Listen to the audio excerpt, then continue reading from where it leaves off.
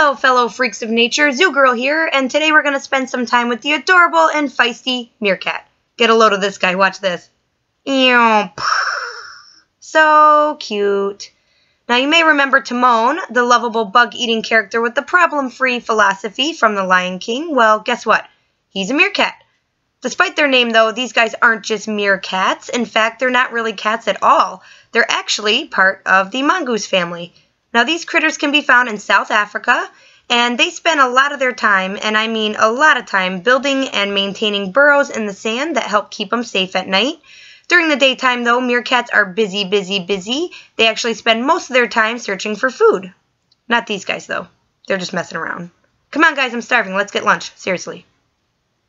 So what is on the menu? Well, it's not ice cream, but they are insectivores. This means they like to eat any kind of bug. Yep, Hakuna Matata. The movie got it right. Ooh, the little cream film kind. They're even immune to scorpion venom, so scorpions are a delicious delicacy for a hungry meerkat. Now, meerkats are gregarious. This is sort of a fancy way of saying that they live in big groups. Families typically have 20 to 30 individuals, with one pair acting as alpha male and alpha female. Think of them kind of like the king and queen. They're also the only ones allowed to have babies, so their kids are sort of like royalty too. All the meerkats work together and raise them until they're old enough to join the adults. Now, it's because of these little guys' sense of teamwork and cooperation that they're able to survive in the harsh desert. They even take turns on sentry duty.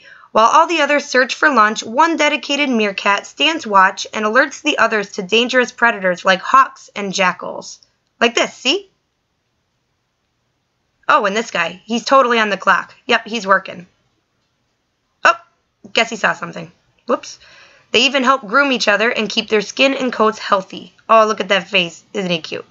It feels really good, and they just love the attention. Maybe muskrat love should be called meerkat love. So, if you want to get some more adorable meerkat action, support your local zoos. Go check them out. They really are quite fun to watch.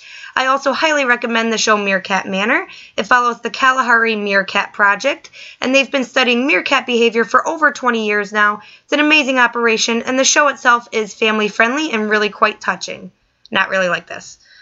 Until next time, though, I'm Zoo Girl signing off. If you like meerkats, and who doesn't, give me a big thumbs up, take a second, click that subscribe button.